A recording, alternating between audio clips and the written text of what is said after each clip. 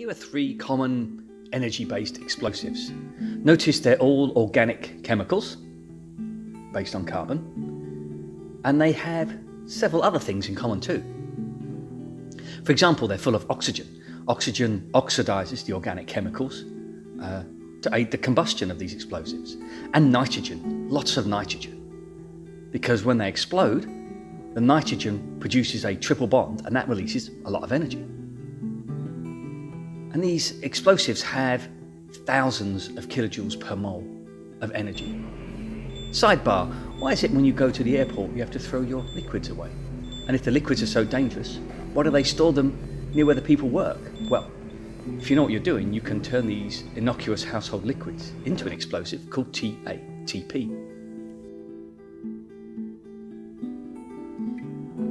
It's a triangular shaped molecule and when it explodes, it produces three propanones and some ozone. How much energy does that produce?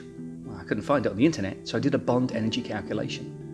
Breaking the red bonds and then making the green bonds gives me a very small, approximately minus 560 kilojoules per mole, a lot less energy than most explosives. Also, you're producing oxygen and no carbon dioxide, nitrogen, or water. So why is it so dangerous? The reason is, is because it is an entropy explosive. Even though a lot of energy isn't released, a lot of entropy is released, so to speak, because lots of gas comes out.